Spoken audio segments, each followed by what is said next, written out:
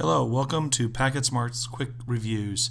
In this session, we're going to show you how to set up a LAN assessment utilizing two P1, P1 PI100s microappliances. We've actually located these two devices under a LAN testing SME device. Here are the two devices.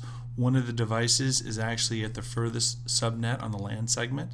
The other one is on the uplink behind the firewall on the LAN side.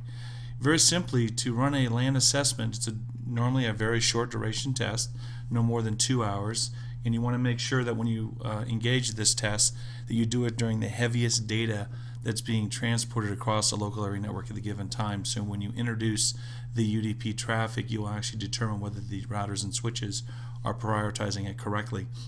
So simply, let me take you through this step.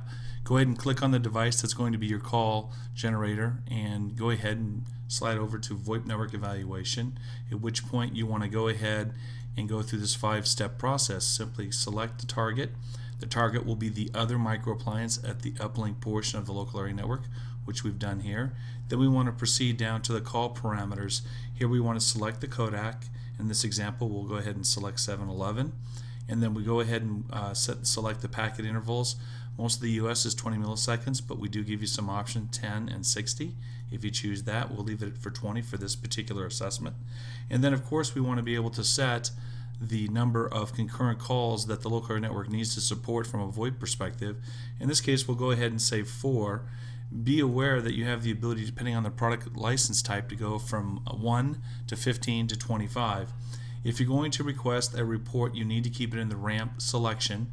If you need to be doing some troubleshooting and looking at a flat rate uh, for bandwidth consumption, you can choose the flat, but if you do choose flat, you are not able to run a report request from that report tab. So please leave it on, on the ramp.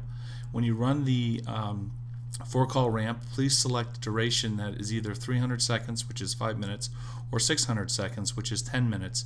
For the demonstration, we'll select 60.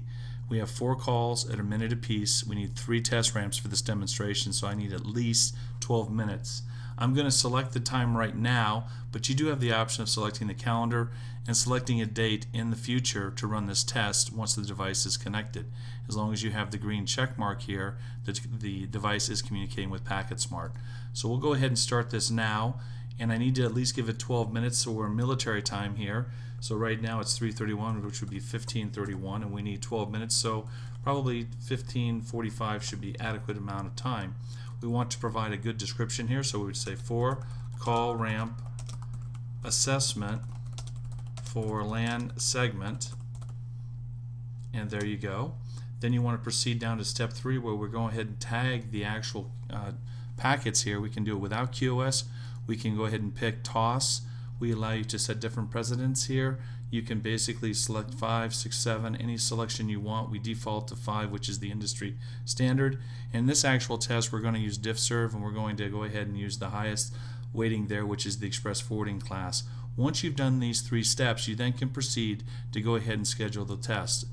Hit the start button, you'll get a confirmation of the parameters of what you've set up if this all looks correct and there's appropriate amount of time to run the test go ahead and hit confirm and then please take the extra second and go ahead and hit the trace route. This will enable us to run uh, RTT or latency through the routers in the path. Once you've completed this, I want you to proceed up to the control panel to make sure that these commands are being executed by the devices. Remember the devices are remote and we are engaging them remotely. So here we have dispatched the start call and start trace route to the devices and as we click on the get command history it'll take 15 to 25 seconds for this command to actually change. There we go. It's actually being received on the uh, commands to that actual device and then we want to make sure that they're actually executed. There you go. They're executed. At this point you can click on the start call proceed down to the call parameters which is the basically history of what we've set up and look at the actual start time of when this is going to actually occur. This is important to note because this is the calls you're going to look at to verify that you have good RTP stream running between the two micro appliances. So once you've confirmed a 1532, you can proceed up to the call matrix. Go ahead and hit show calls. And we're looking for anything that's 1532 or later, and this is our first call right here. Once we click on this call, we want to proceed down to the call stream matrix to verify that we are generating an RTP media stream. Go ahead and call stream matrix and then go to the packets per second click on that and then go ahead and draw the chart Scroll down so you can see this, and there you go. There's your RTP media stream, 50 packets per second. If you like, you can go ahead and look at the other device and see that it's getting a stream also. Remember the time that we mentioned, there's the 1532. Go ahead and call, call stream matrix, click on the packets per second, hit the draw chart, and we should see a stream here too, which we do. At this point, we've got a good indication that we have a, an RTP test stream going between two devices on a local area network, and now we can go ahead and stage the report for that LAN assessment. Easily done by going to the Report tab, sliding down to where it says Submit New Request. Go ahead and select the actual device we're going to run the test on. This is where we started the generation of the test. We want to select a premium on this, and we'll go ahead and select premium, do the start call commands, and this is the actual one we're interested in. This is the one we just started, 1532. Click on that. Proceed with, we're uh, looking at a local area network um, test. And this is at, uh, let's just say it's at the corporate office. And what we want to do is provide the call capacity of at least four concurrent calls on the network.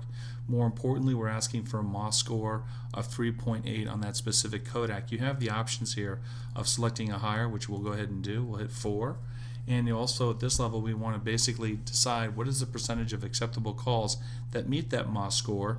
And right now it's at 95%. I'd like to increase that. That should be upwards around 97% uh, on the local area network. We'll default to the, the Pacific time zone, which we did on the initial test. And then more importantly, you'll actually have the ability, if you need to, change the hourly uh, segmentation of those reports. But for this demonstration, leave it on 8. And then you have the ability to uh, also look at segments of time within the slice if you were running a 24 hour. These are only, val only valid when you're running a 24 hour uh, test. So if you just wanted to look at 20, uh, one particular time between 1 o'clock and 5 o'clock, that's how you'd set up the options. Uh, for this demonstration, we go ahead and we leave it on the full 24 hours. We do know that it's a four call ramp assessment for the LAN segment at corporate office. And you want to provide lots of information here for the report. And then all you have to do now is go ahead and put in your email address where you would like to have the report emailed to you through a link. Submit this and can check the confirmation of the information you have here. Go ahead and hit confirm.